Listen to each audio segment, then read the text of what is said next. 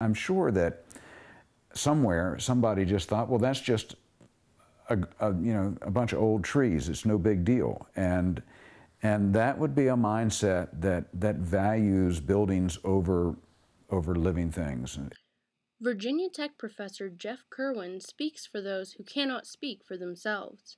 Specifically, the trees of Stadium Woods, some of which are over 350 years old.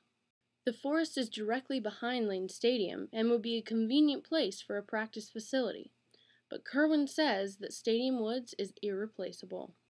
Well, a little known fact about trees um, is, is that they are they have psychological benefits for people.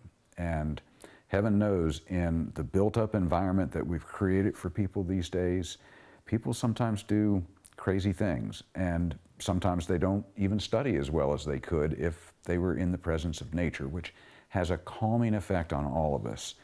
And we need that calming effect at Virginia Tech, and we need it everywhere. And, and trees give that to us. We need it for our psychological well being. Kirwan has been working with the Friends of Stadium Woods, an organization created specifically to try and preserve one of Virginia's largest old growth forests. With a committee set to decide the fate of Stadium Woods by June 1st, Kirwan is in a race against time to save the trees.